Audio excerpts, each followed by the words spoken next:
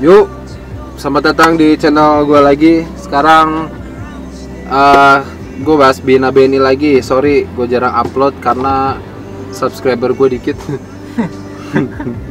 Jadi kalau yang mau update tentang Bina BNI atau seputar perbankan, bolehlah di follow, eh di follow, di subscribe, terus di share, ya kan. Tonton juga biar semangat uploadnya. Oke, gue sekarang lagi sama Andri. Andri ini eh, orang pertama kali gue temuin di tes Bina BNI ya, Iya. awal-awal. Nah, jadi banyak pertanyaan dari kalian gitu eh, soal jenjang karir di BNI. Kayak kak kalau? Oke. Terutama Bina. jenjang karir Bina BNI gitu kan. Banyak banget yang nanya kak eh, karir di Bina BNI ada jenjang karirnya nggak gitu? Atau jelas nggak? Atau eh, kalau udah kontrak kita ke mana gitu kan? Ntar kita jelasin sekarang gitu ya. Kalau waktu awal-awal kontrak Dri Hmm, kejelasannya gimana Dri? Kemarin kejelasannya sih cuman apa sih? Cuma kita kontrak 2 tahun kalau BO ya 2 tahun.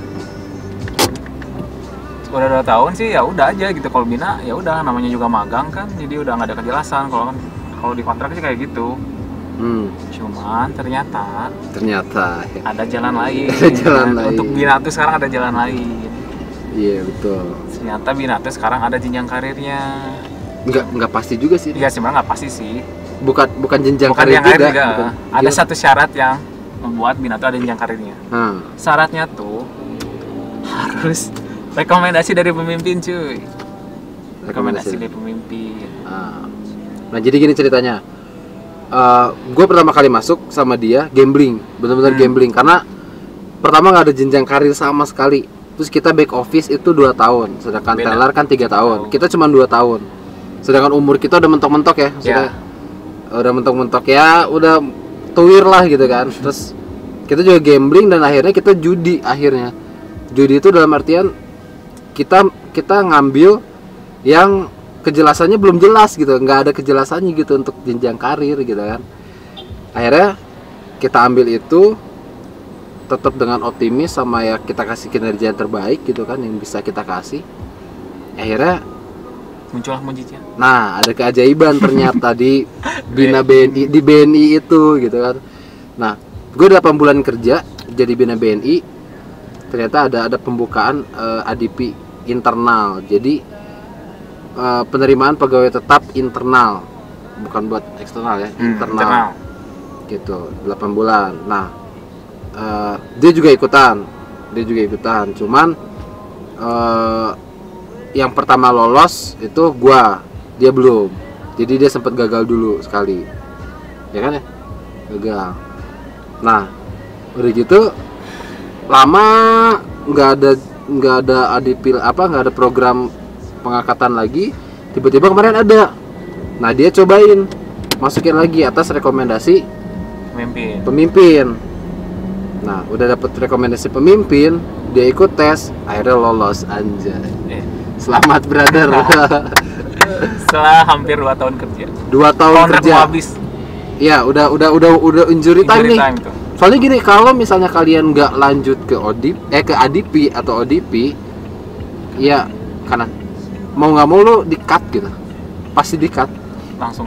Iya dua tahun kerja magang udah cut gitu. Lo ya udah keluar gitu. Nggak ada perpanjang sama sekali. Ya ya tapi ada sertifikat cuy enaknya. Ya, lo Jadi dapat sertifikat. kalau lu mau cari kerja lagi ya agak gampang lah karena Hmm. punya sertifikat dari BUMN kan. Hmm. gitu teman-teman. Jadi jangan khawatir. Jangan khawatir benar. Gini kalau ke- kerja kita bagus ya gimana? Ya kalau kita ke- kerja kita bagus terus kita dilihat pemimpin gitu kan kita berkontribusi kan otomatis pemimpin juga kan pasti ngerekomendasiin kita kan. Hmm. dan akhirnya kan kayak kita berdua lah dapat mujizat gitu. Alhamdulillah ya. Alhamdulillah. kita termasuk orang-orang yang beruntung lah yang yang dari bina BNI gitu ya dari magang yang nggak kejelasannya eh, nggak ada gitu. Jadi sekarang on the way pegawai tetap. Amin. Amin ya alhamdulillah gitu. Jadi gini sebelum lu milih bina BNI gitu lo harus lo, lo harus tahu konsekuensinya apa. Terpaitnya ya lu kontrak 2 tahun atau tiga tahun cut. Itu terpaitnya tapi kalau misalnya lo optimis lo percaya sama kinerja diri lo sendiri eh, lo optimis dengan eh, apa lo bisa ngelakuin yang terbaik untuk eh, BNI ya lo masuk dan jangan pernah khawatir ya Hmm. Jangan pernah khawatir sih kalau kata gue sih kecuali lo orang yang pesimis dan lo pengen yang pasti gitu nah kalau pengen yang pasti-pasti sih mending ODP aja Ya, benar benar. mending ODP aja Sama atau ada rookie Ro. Rookie langsung rookie rookie langsung jadi manager ya leb- rookie itu grade-nya langsung 10 loh. langsung grade 10 ODP 8 itu. Hmm. Rookie 10 loh. kalau Bina minus sekali ya Bina minus kalau Bina minus kalau kita masih nol sebelum Jadi pegawai tetap.